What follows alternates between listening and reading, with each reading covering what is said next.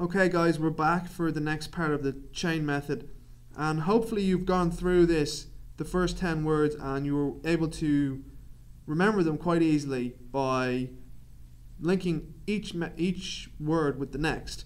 And if you did do that, you'll have noticed how amazing this is because it just kind of happens as you imagine the first word, the second word comes, as you imagine the second, the third just comes into mind, and you'll begin to see how this system works. So let's move on, let's learn the next 10, and then we'll have 20 words learned.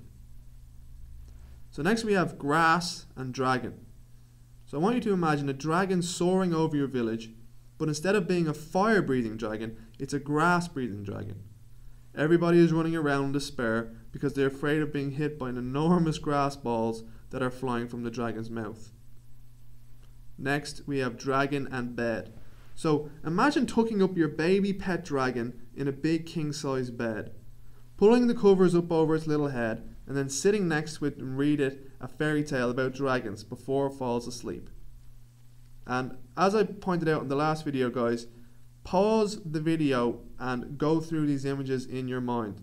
If you're just listening to this, it's not going to work. Next, we have bed and school bag.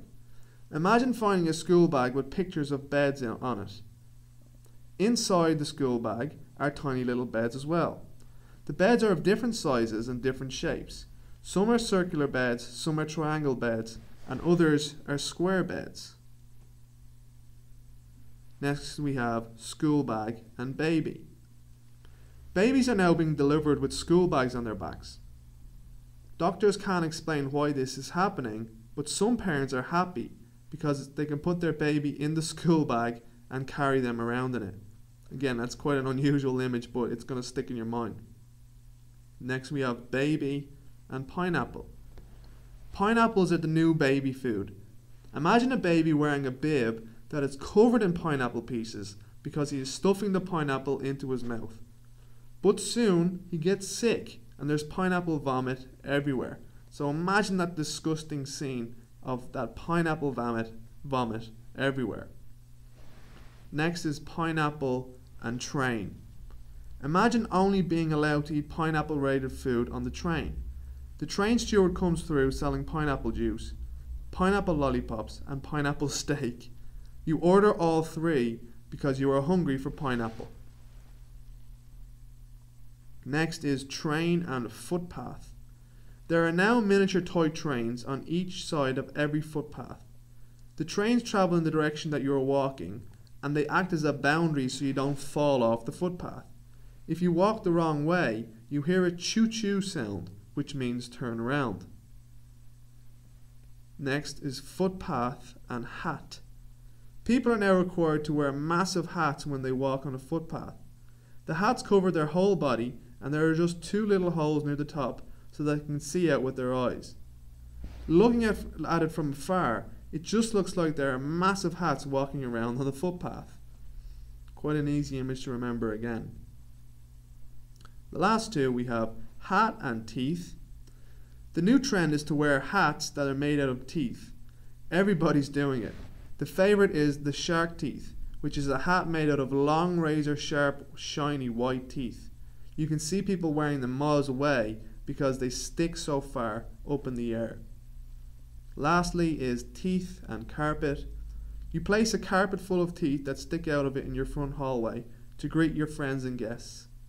Everybody must make their shoes and socks, excuse me, everybody must take off their shoes and socks and walk on the carpet of sharp teeth before they are allowed to pass. Now, if you've gone through those, pause the video and try to write down as many words from memory. If you've imagined each image in your mind, then you will have remembered all 20 words. For the words that you have actually missed, if you did miss some, go back and reimagine the connected images in your mind. Here are the 20 items again. And pause the video if you don't want to see them uh, so you can write down. But after you have written them down, here they are. Broom, cat, cabbage, magazine, car, tree, chair, milk, washing machine, grass, dragon bed, school bag, baby, pineapple, train, footpath, hat, teeth, and carpet. So again, if you've memorized or if you've imagined all those connections, then you will have all those words in your memory. Now the chain method is great because it allows you to quickly memorize a long chain of events. This will have been a little bit more drawn out because we're just learning the method, but now after you've learned the method you're going to be able to do it very very quickly. Now the only problem with the chain method is that if you forget one of the connections and break the link, sometimes you're going to find it difficult to remember all the words. And because of this, you should run through the sequence a few times in your head until it's locked in.